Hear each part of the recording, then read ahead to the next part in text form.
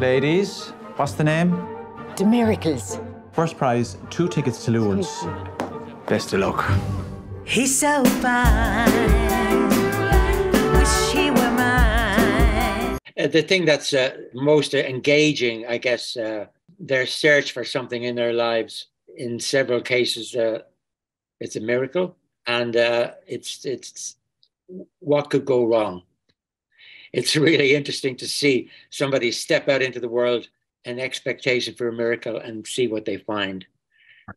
And I think that uh, the idea of Lourdes, which is uh, a place where people have expectations of something, not necessarily a miracle, uh, that is interesting too. So the combination of, uh, of I suppose somebody called it a road movie, of getting them out of the house on the road uh, to see what would happen, which is a classic um, classically what a, a, a, road movie is.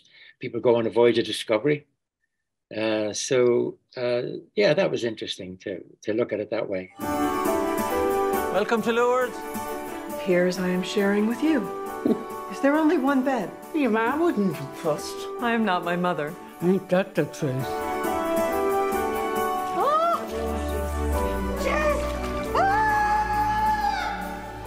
Ready. I'm not. Now, the film explores the theme of miracles and their connection to human belief and consciousness. How did you approach capturing and visualizing these elements on screen? Were there any specific techniques or stylistic choices you made to enhance the audience engagement with the concept of miracles? It's all through character. I mean, there's no there's no uh, s- sensational event. Uh, it's all through character uh, engagement um, with Lourdes uh, and with each other and with their own spirituality. Um, and each of them has a uh, brings with them um, problems uh, to uh, Lourdes, problems that they're not in the mood to acknowledge or recognize. Mm-hmm. Uh, uh, and that that's that's where the dramatic engagement uh, takes place when they start to um, acknowledge that there is something to look at here.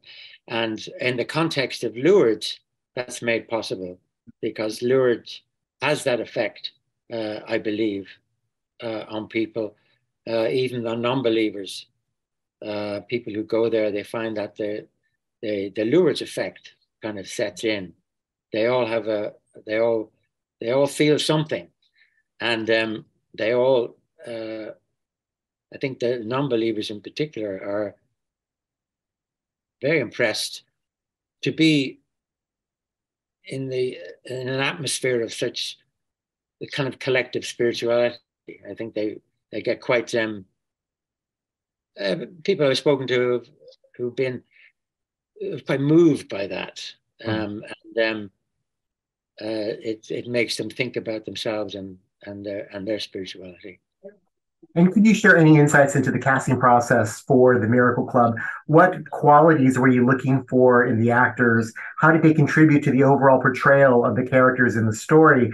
I mean, it seems like you're one of the luckiest directors because you get to work with this all-star cast. Well, I am, uh, and um, they, they, were given to me, uh, if you like. Uh, Kathy Bates and Maggie Smith were attached to this project a very long time ago, and um, uh, Laura Linney only became attached uh, uh, quite recently during my period of engagement. And um, so I was uh, doubly lucky in that I didn't have to go out and find uh, mm-hmm. Maggie Smith and Kate They were attached to the project. So when I got involved, I went and talked to them uh, about, the, about the story and about um, how they saw it and how, how I saw it.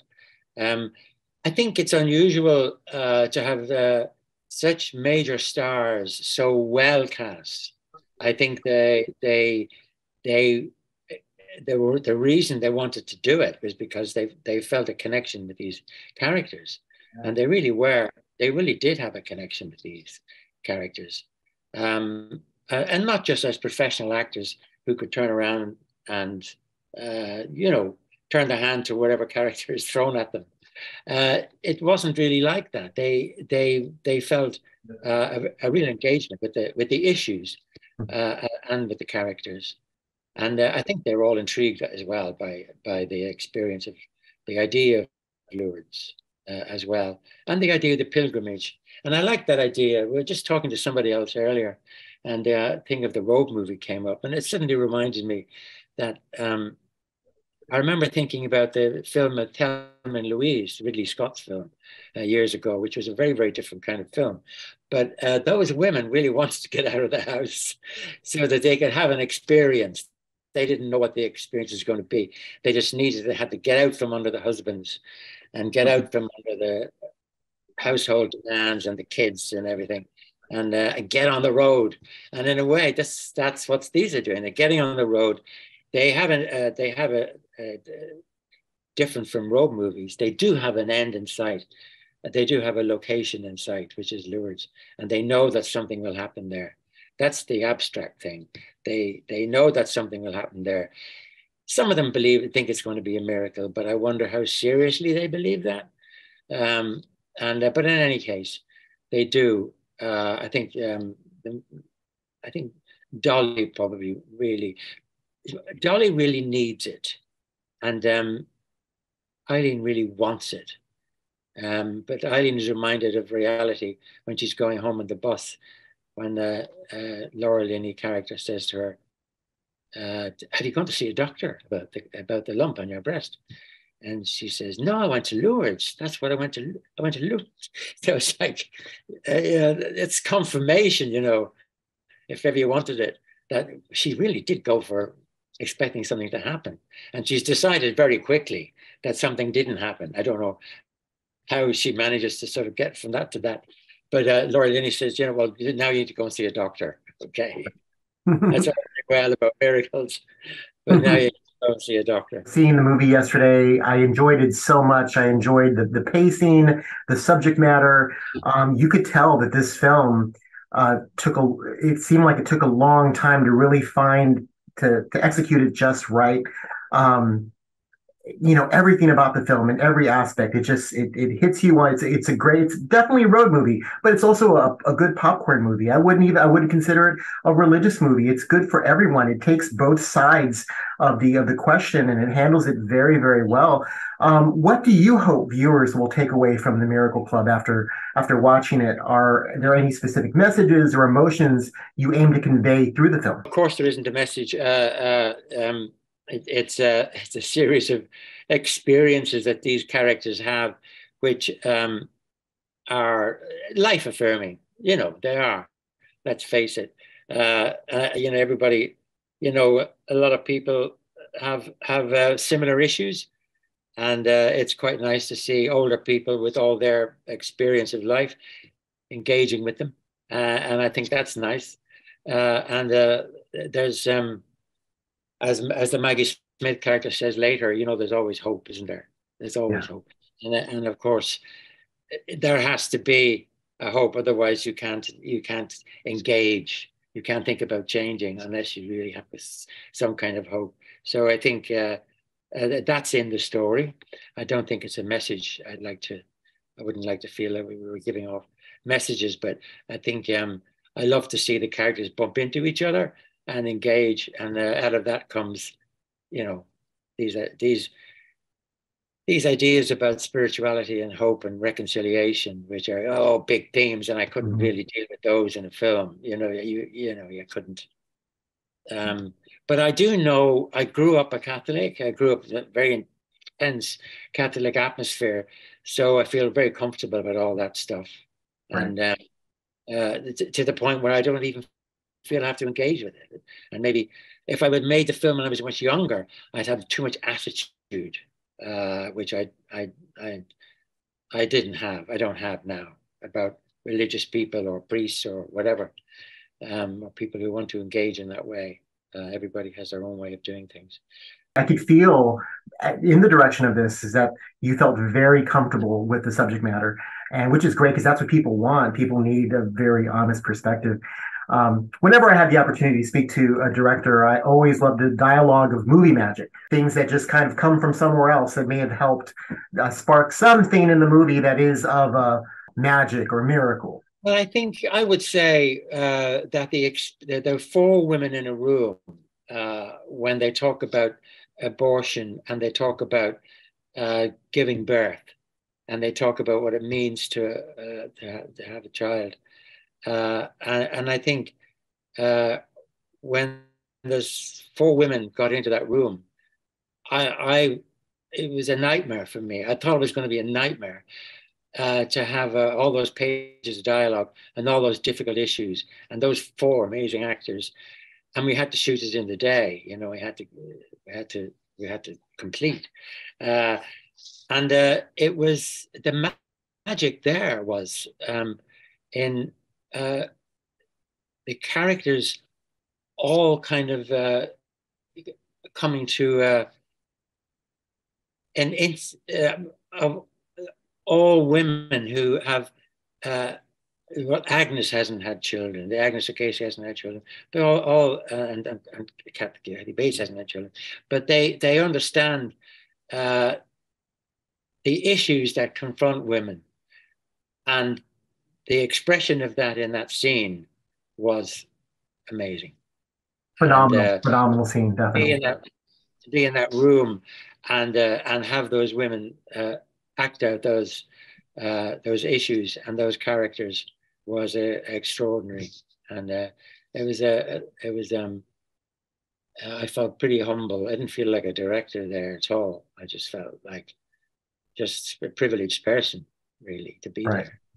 That's amazing, and that's how you feel as an audience member because um, watching the film, I was just like, wow, like this is like I feel privileged to be watching some of these scenes because we've never been able to see. A lot of times when you have these this amount of amazing actors in a room, it's a train wreck. You don't see that here. You see the such grace in in allowing and the communication. It's it's so well done.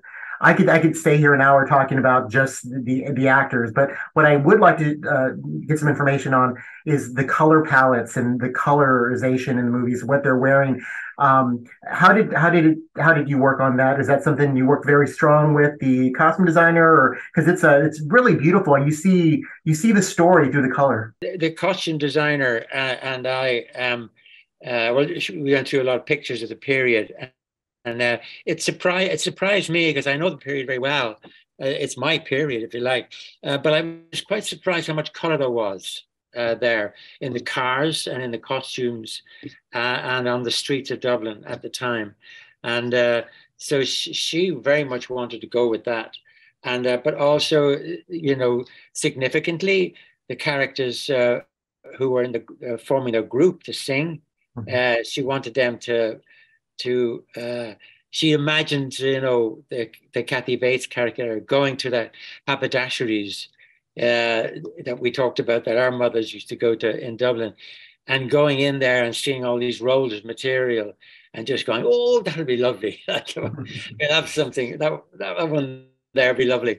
I'll do you a good deal, Mrs. I'll do you, if the three characters I'll give you for the for the three dresses you want to make, I'll give you a special deal. You know, all that kind of thing. So, so, so that was wonderful. And the the American arriving in Ireland uh, had to have something special, because when all the Americans arrived over, all my family, uh, my relations went to America, uh, um, and they were always coming back uh, uh, in the fifties and uh, they were always wearing mad clothes. And we used to get sent a box of clothes every year at Christmas time, they'd send a box of hand me downs. Wow. And they were they were always really bright and colorful, and uh, so uh, anyway, the Kathy, the uh, Laura Linney character, you know, we wanted to ha- have her really be a bit intimidating, uh, bright and colorful, and a bit peacocky and, and American, and and uh, and uh, I don't care what you think. I am wearing this yellow coat, mm-hmm. and uh, so you know she wasn't going to she was going to stand out uh, and and and and I you know she knows she's going to stand out and she doesn't mind uh, and it's in their face a little bit you know back off a bit. You know they're they're almost thinking. And uh, uh and um the Kathy Bates character, yeah, she doesn't get she doesn't get to wear such such a bright clothes she was uh, much more down to earth and uh, realistic. But the the um the, the design, the designer and I also he's not he's older but not as old as me, but he knows the period really well. And we looked at you know all the colors that we liked when we went into those homes and that we grew up in. Uh, the wallpapers and the kitchen units and uh, and all of that, and uh, it was just a question of uh, making it so that it was um, it it would uh, a color palette that wouldn't uh, feel like it was all over the place. Right. That it was uh, it was a world, you know, it was a distinctive world, and and once you got into the color of the world, uh, then everything belonged in it, even though it might have been a little bit too colorful. Uh, it, it was from there, from that time, from the day, uh, and it belonged. Uh, and you just had to find, uh, as you say, a kind of palette that could um, encompass it, really. You don't come to Lourdes for a miracle, Eileen. You come for the strength to go on when there is no miracle. You're still alive. Just about. Well, there's always hope. Peace. That's what I hope for. I think I had me a miracle. What? I actually missed you.